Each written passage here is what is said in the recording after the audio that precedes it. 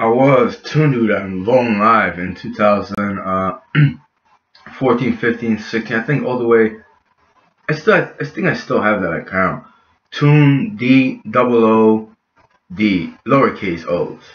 You know, but Tune Dude was called because I went through a phase in my life just drinking, drinking, and like you know, watching uh, especially Chevelle videos.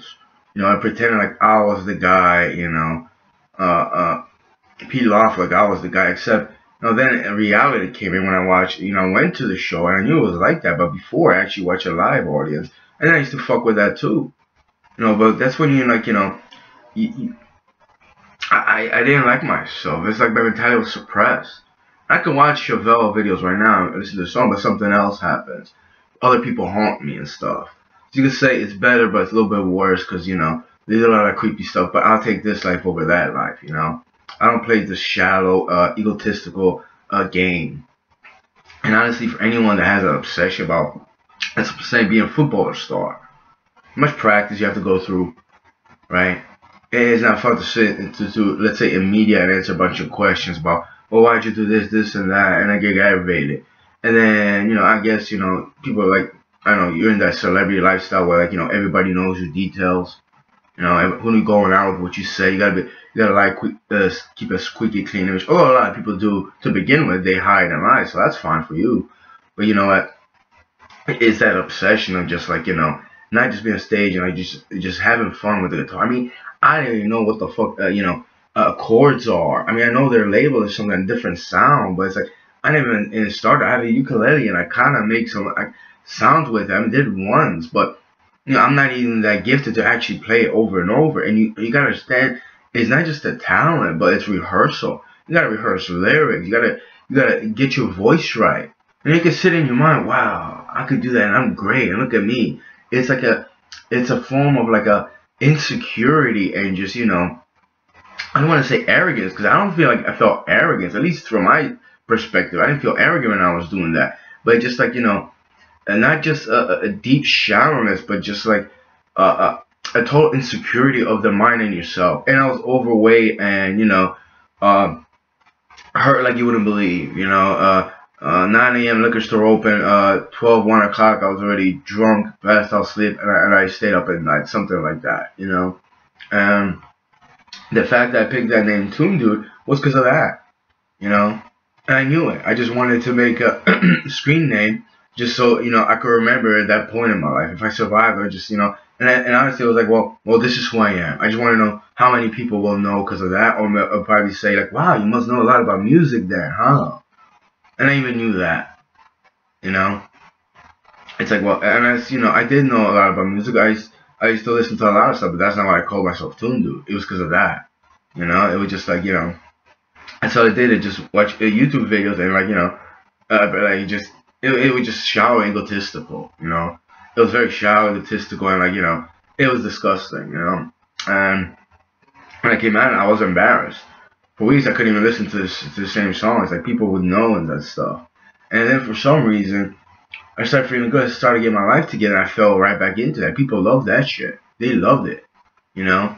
Like they they absorbed it. They wanted me to be like that. That suppressed kind of you know mental slave, mental slave, mental jail person. You know, consuming my own mind, some egotistical stuff. Like I'm not saying you know I, I you know I, I really love love that that that, but uh, those those musicians or their music are the best. But it could be like let's say I wasn't uh, or Breaking Benjamin or Limp Bizkit or Metallica or you know any rapper out there like do I really know the stage presence, how to get on stage and actually perform in front of a live audience? I mean, geez, I have stage fright. You know, it's like watching a Superman movie. You're like, yeah, you know, that's me. but it's like, you know, you get to the third floor and you're like, no, man, it's really tall over there. It's like, I, I, and I feel high tech, I could fall. It's just like, and the wind rushes you. You know, so where is your reality and common sense? You know, or is it just like, you know, you just, you know, you, you're being down so by life, you just want to be someone great or something just to like recover because you like, you just, you, you just had enough, you know depression, suicidal thoughts, or something like that. Because when I was sober, I just, you know, I didn't, I didn't know what the point was to be alive. You know, a lot of times when I was sober, I didn't do that stuff. You know, I didn't, I didn't think like that. I'm not gonna be sober and just obsessed about it. Usually when I was on alcohol. When I was drinking heavily, like every day to the point where just, you know, not that I soiled myself, eventually I didn't even soil myself, but once in a while I actually pissed in my sleep too. I know I'm sticking my soul that and made fun of that, but I would have told him, yeah, I pissed myself, I cleaned up, I'm getting new mattress. You know, but it's like being in that state. And I don't know if I'm so embarrassed by having my mentality to go that level because it's creepy and disgusting. But you know, at least you know, it's like I wouldn't put anyone in that place. You know, you know, I didn't enjoy that. You know, I, I, I just you know, it's creepy and like I'll talk about it, but just disturbing. You know, and you know, me, uh, that guy, tuned to that, you know, was on Vaughn Live in the chat rooms in like 2014, 15. I mean, just went to like a, a horror show of just inhumanity by certain people and, and that I used to work with, and including my relatives. A lot of people I used to work with, you know, they just openly wanted to do me, uh, give me all type of drugs that were synthetic, just want to mess me up, and they they they love the fact that I might go to prison for something that I didn't do. It's like, why would you get out of that that I'm locked up? You know, I'm not gonna go into that uh, spiel of like, you know, you could be incarcerated and you have freedom, although it's true, but you still know you're incarcerated doesn't feel good as well. You know, it really doesn't. It does. Even if you're reminded, you know, you're behind some wall and you have a window and you look out to and you're like, I can't experience that. And then you start thinking, what if I was outside and I experienced that and just some other idiots, assholes that are in there, in there, want me in there, wouldn't want me to experience that and they will, you know, suppress my mentality or halt me even more for just, you know, a simple uh, thing that I'm happy and alive and I'll change, try to change some other people's lives for the better. You know, you know that guy uh, drinking, like me, um, pretending, you know, it's like somebody else. It's just like, you know, it's like trying to be like the, the, the, the, this popular guy, like successful or like a talent. You know, maybe I maybe having the best talent, but I couldn't create something just like it, it takes a lot of work, dedication, to, uh, and you know, dedication is the key. You have to practice, practice, practice. Even I don't have the best vocal cords, and a lot of times I, I, I stutter, I stop at saying a particular word. Even when I'm trying to record, like the last thing I recorded, and it's like, you know, you gotta you gotta take your breath. And minus the people that are trying to haunt you and trying to stop you too, because I can't even, you know, uh, finish a paragraph, finish a song, because you know, idiots out there just don't want me to, and, and that's reality for me. But you know, I'll take that struggle over, like you know, me struggling in life, and you know, people just enjoying the fact that I'm drunk as hell the whole time. Yeah, that line from uh, the Lost Boys, that guy uh, Smithers. I was the guy that the guy Smithers wanted me to be. Yeah, I feel like you know, there's not just Smithers, there's a lot of Smithers, and a lot of them are just uh, old white people with a lot of money. There's a lot of people like that. A lot of them are females that want me like that, and it's disgusting. Like I don't want you in my life, you know. Like you want me like get angry and just you know drunk and all that stuff. Like, well, how disgusting are you? And not of some reality stuff that I did. I should be you know, uh, ashamed, like, you know, Evanescence chick over there talks about. Like, I, I shouldn't be ashamed. You're the one that wants, wants me to be ashamed. You just, like, you told uh, in a song. You know, it's like, what? Ashamed for what? Something I didn't do, something that you are? You want to lie, manipulate me in my mind, suppress me? So, you know, I do feel embarrassed, but at the same time, I understand why that happened. You know, I understand why I was like that.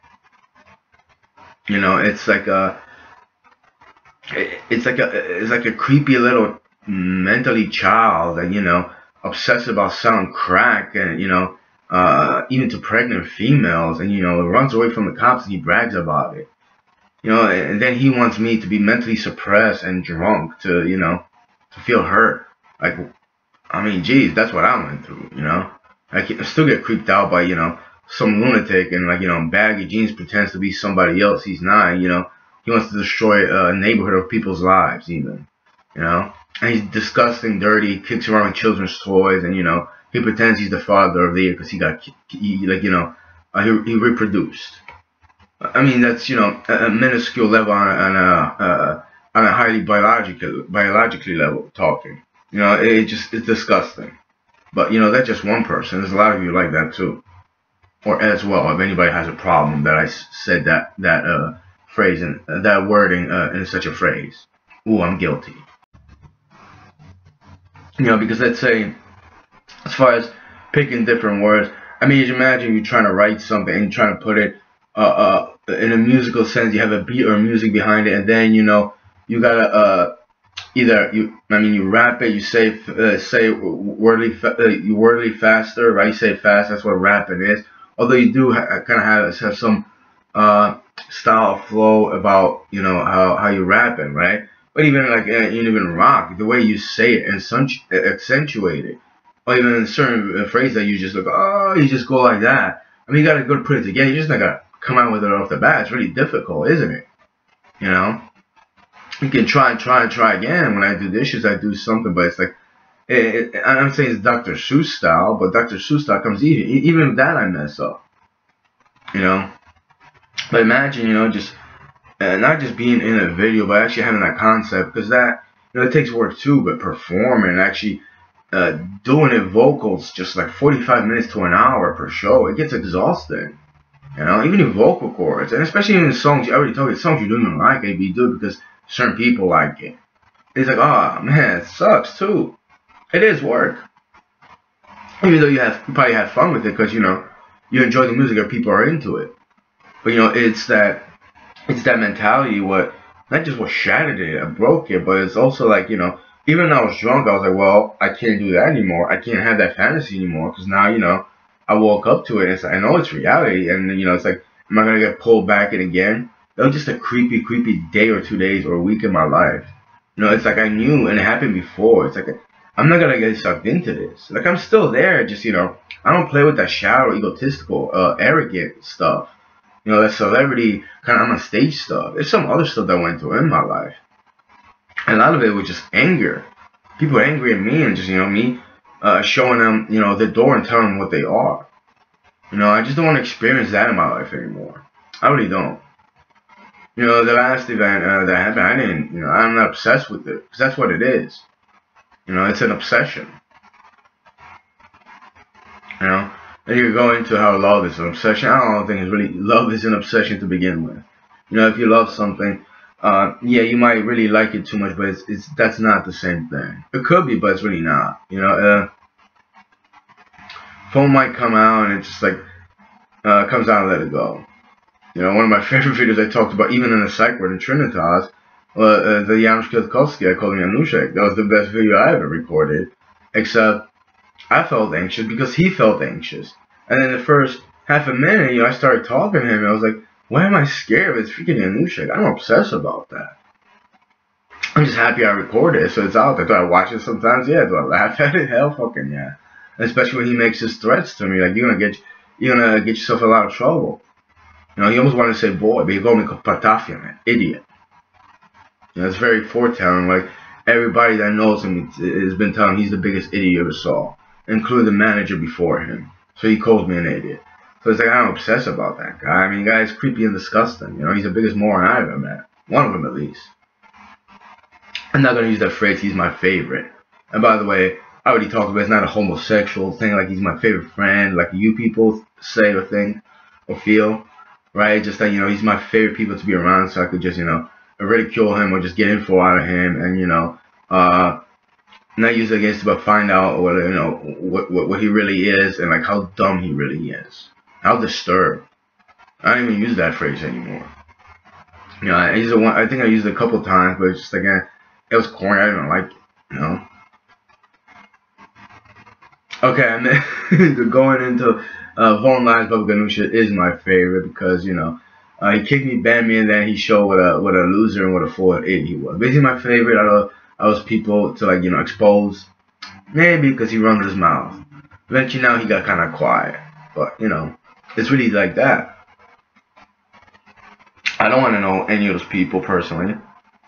Obviously, you know, they would set set me up for murder because, you know, uh, I'm not like them.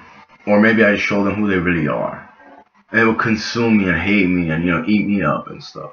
But yeah, that Toon Dude thing, you know, it was just like, you know, I don't care if I go on a, in a chat with people, hey, Toon Dude, they, they do it on purpose. That. Also thought they just can't get their minds to to say a different name, you know, or they just stuck in like they're gonna uh, get me aggravated. I'm not really aggravated by that, you know. I'm just like every time, not that someone says Toon, I think of Doom Dude. I think at that time, but I was, I was how many people love that, how many people enjoyed that, that I was in that state, and where are they right now in their life, and you know how they act towards me. And maybe I'll make an account. I've been talking about Toon doing just you know, and go back uh, back to people's channel. But some people they're not around anymore. Once in a while they come around, and then they're gone at least from me for a month. And then I look at the they're in the chat side, either Vaughn or iVlog. It says they were that day. They're not on camera, and you know I can't find them in other people's chat rooms. You know, it'd be nice if they were on camera and I could see their facial expressions, even though I'll be in the chat, or the other way around. How many people, those people that want to degrade me, want to suppress me, want to you know get me on drunk, on on on drugs that I don't even know, and just having me looking like a feeling like a zombie when I get on camera, come into my chat room. I got 10, 20, 30 guests, anonymous people that come in, a couple seconds they see me and they leave right? One person came in there and just called me a cunt. And then he acted like a cunt. Right? And, and it's like, you know, get your big pink ass and your Ganush's ass and your gaming girls and your Sarah 6'2s and your, uh, you know, uh, sense sensitized because you're sensitive in my channel and telling me how, you know, what you really think about me. But don't be fake about it either, you know? Let it out. Do your little game that you always have. Not too many people do. Alright, just behind, you know, behind your back, they're really tough. But yeah, that's what Tundu was, and it was just like I was obsessed with something that I, I didn't even want to be obsessed with, you know? Like the stuff, alright, and then maybe I put it uh, uh, to music, am I to obsess about it like that? Pretty much not. You know, because this is that's that mentality that I am. I'm not. I don't want to have that mentality. Am I embarrassed by it? No, I'm embarrassed when like, the first two days I came came out of it sometimes I think about it was that, but also just you know being drunk to the point where just like you know all I could really think, especially when you're drunk, just eat anything and then just wake up the next like, wow, I ate that. Oh yeah, I remember. I mean that's disgusting, and creepy, you know. It's not because I could put uh, uh, pictures and videos and music to something that I ate, and it's like, oh yeah, yeah. I mean that's how I want to be, even if I don't make that video. You know, it's just like having that experience actually creating something that, uh, well, this would taste good, this is not, and maybe somebody else does it, and it's like, you know, it costs this in a restaurant, but I could go five or six feet to the kitchen, I could have it in 15, 20 minutes. And I have to drive somewhere, this and that, wait online, wait to be seated, and be around other people, strangers that I don't know, right? And catch an attitude from the waiter or waitress or whatever, just some something else. I could just, you know, have it in the comforts of my home for uh, much cheaper price, couple dollars probably. You know. But you know, that's the life I want, you know. Do I want to obsess about that and just, you know, oh wow, he did that? No, it would be nice to get a compliment, but too many people, not too many people do that. Even though they would go to a restaurant, they would eat that, but you know, I, I know what they think of me. I don't want your fake, uh, little, uh, fake, uh, insecurity and, you know, compliments anyway. So it's fine. I just, you know, I want to enjoy life, and I don't want to obsess about it either.